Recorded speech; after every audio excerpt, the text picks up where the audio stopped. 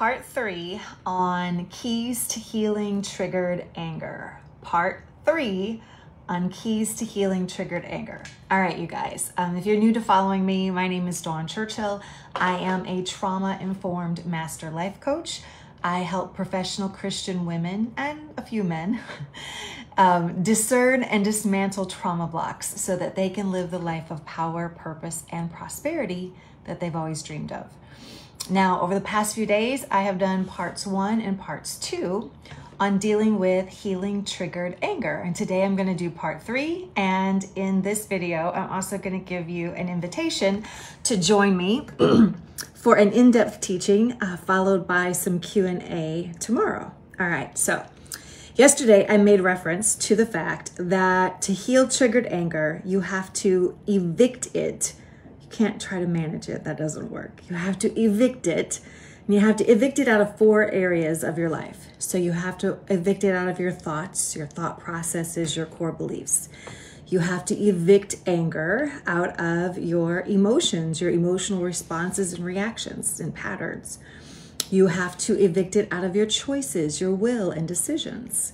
And you also have to evict it out of different places in your body, such as your central nervous system, uh, rewiring your brain patterns, and evicting um, anger out of different places in the body where it tends to get nestled at. And so, for instance, that is can get nestled in places like your neck and your jaw and your shoulders, but also your buttocks, sometimes your lower back.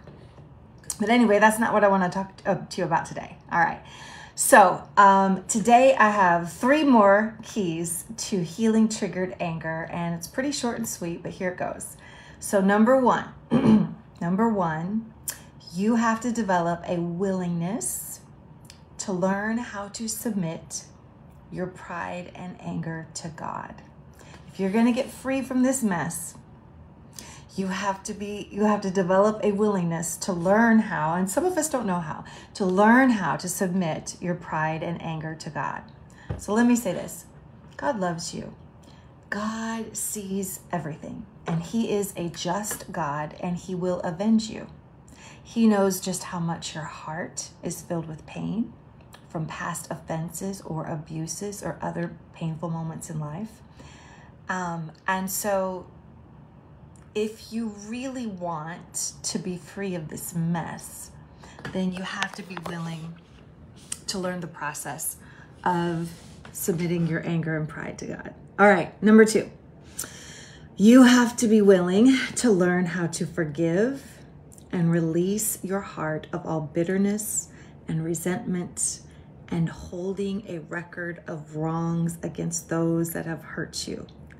In other words, I'm, I, I don't know why I, I uh, sometimes I, I giggle about this because for me, this was such a difficult process at first. But then once I finally learned the keys to doing it, it wasn't very difficult, okay? All right, so you have to develop a willingness to learn how to forgive and release your heart from all bitterness and resentment and holding grudges, holding a record of wrongs against others, okay?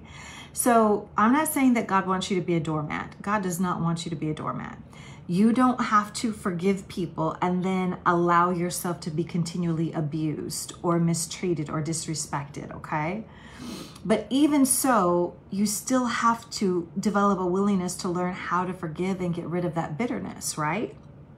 All right, and number three, number third key for today is you have to develop a willingness to spend significant time, effort, and resources to the process of renewing your mind, your will, and your emotions, as well as rewiring your body, your nervous system, and your brain. Okay? You have to have a willing, oh, I'm sorry. And then the last one is you have to have a willingness to repel lesser distractions in order to focus on the process of healing. I say that last one. You have to develop a willingness to repel lesser distractions in an uh, in order to focus on the process of healing. All right, you guys. So tomorrow I'm going to begin a three-day event where I'm going to do some short but in-depth teachings on this topic and it's going to be followed by live Q&A. So these are all going to be um, live streaming events. And I want to invite you right now to join me. And so, um, whether you join me on LinkedIn, um, and so I'm just gonna real quickly give you the details.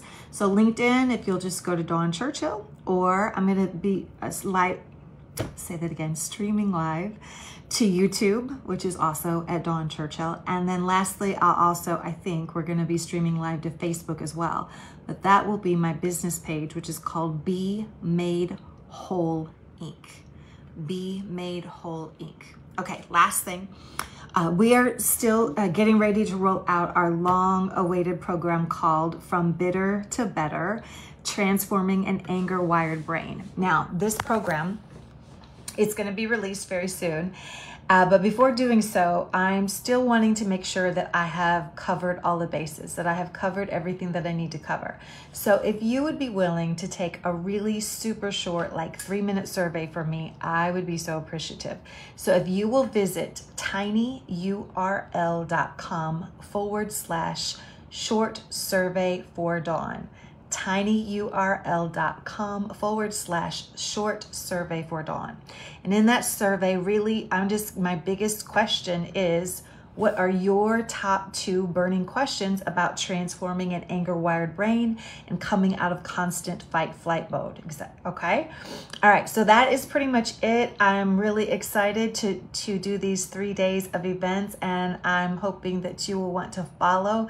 Make sure um, that you wait for the little um, announcement after at the close of this video and I will see you guys this week on Monday, Tuesday, and Wednesday.